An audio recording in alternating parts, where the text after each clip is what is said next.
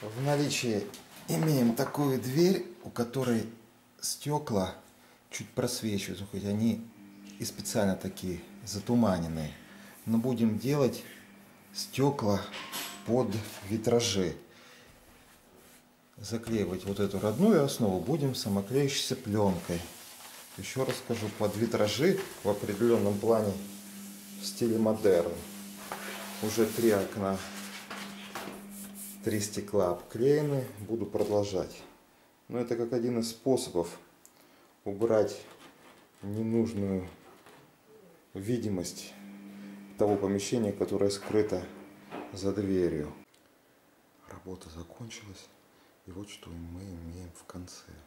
Получилось, я считаю, неплохо. Некое подобие витражного стекла.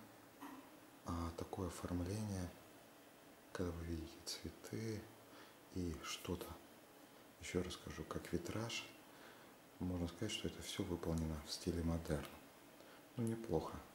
Когда темно и в том помещении горит свет, все выглядит красиво сравнительно.